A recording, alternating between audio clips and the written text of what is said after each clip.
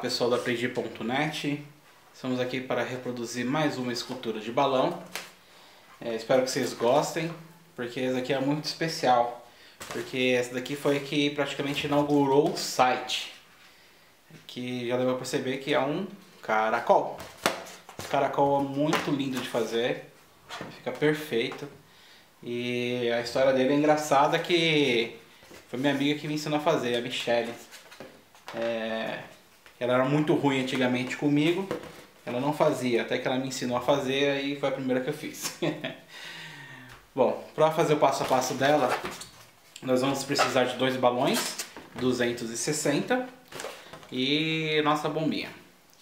Primeiro passo, no caso, vou fazer reproduzir um amarelo, já que eu fiz azul, vou fazer um amarelinho agora.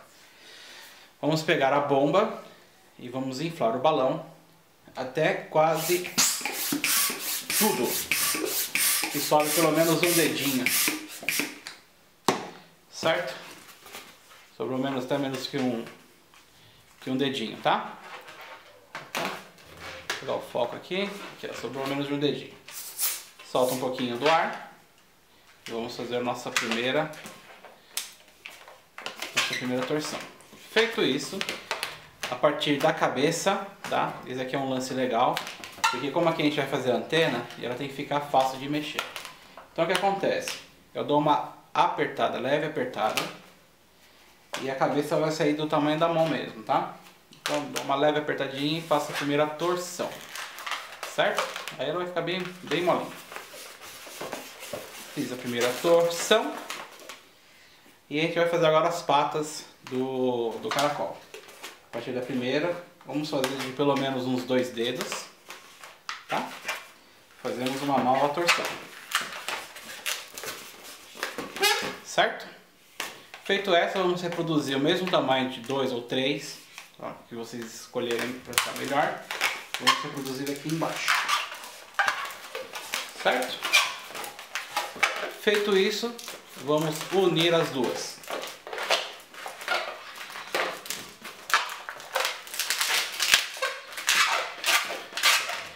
certo? Então eu uni a pata, as duas patas e o, e o pescoço do cachorro. O lance de agora é o seguinte, para a gente poder fazer essa parte aqui, que eu chamo de rocambole com essa daqui, o que sobrou do balão, tá? Vocês vão contabilizar um terço do tamanho, tá? Que é pra gente poder fazer o quê? Pra gente poder fazer essa virada aqui. Opa, essa virada aqui. Então o que sobrou um terço do balão, tá? Caso aqui que eu vou usar. É, pra gente poder fazer a, a volta que vai entrar a parte do casco dele. No caso, um terço do meu balão vai ser exatamente aqui. Então tem que sobrar dois terços dele. Tá? Vai ficar aqui melhor na câmera aqui.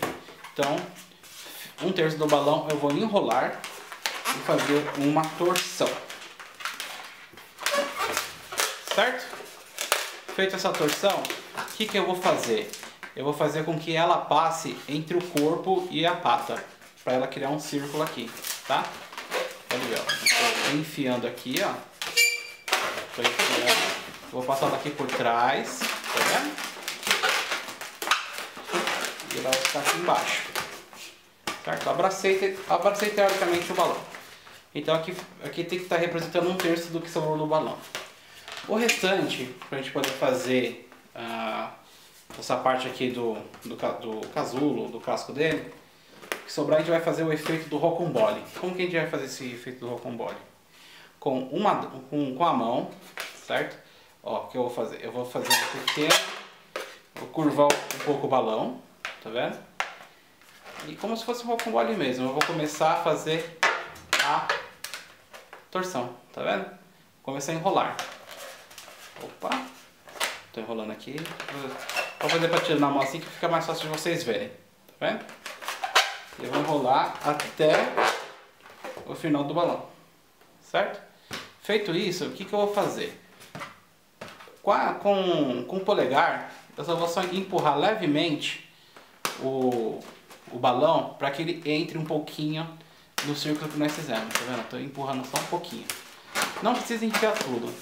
Na verdade tem que sobrar só um pouquinho, tem que entrar só um pouco mesmo para poder dar o efeito.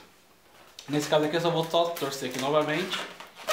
Vou torcer não, vou arrumar o caracol para poder ficar a cabecinha para cima, as patas e a parte do casco para cima, tá? Então com isso nós já temos já 80% do caracol pronto. Agora vamos partir para a antena dele, né?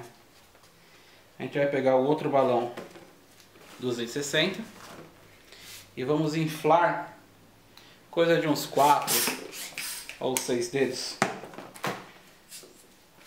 No caso aqui chega um palmo, vai. Nozinho, não precisa soltar um pouco do ar do balão porque já vai tá bastante aqui. O que eu vou fazer? Eu vou deslocar o, o, essa bola grande aqui de um palmo para o meio do balão. Como eu vou fazer isso? Eu vou apertar, tá vendo? Tô apertando, estou deslocando o ar para o meio do balão. Certo? Feito isso daqui, o que eu vou fazer? Eu vou ter que achar o meio do balão. Umas duas partes. E vou equalizando aqui, no caso, para achar o meio do balão. No caso, se ela ficasse um pouco maior, um pouco menor, é só abrir um pouco entre os dedos, né? Porque eu estou segurando aqui, entre os dedos. Então eu vou soltar um pouquinho e vou pressionar o lado que tiver maior. Para que ele para que equalize é, certinho. Você pode dar a opção de dar uma torção, só para o ar não poder passar de um lado para o outro. Certo? Deixa eu arrumar aqui certinho que o ar acabou escapando. Certo? Então, tá no meu meio aqui. Faço uma torção só para não sair, certo? E vamos pegar a cabeça do o corpo do caracol.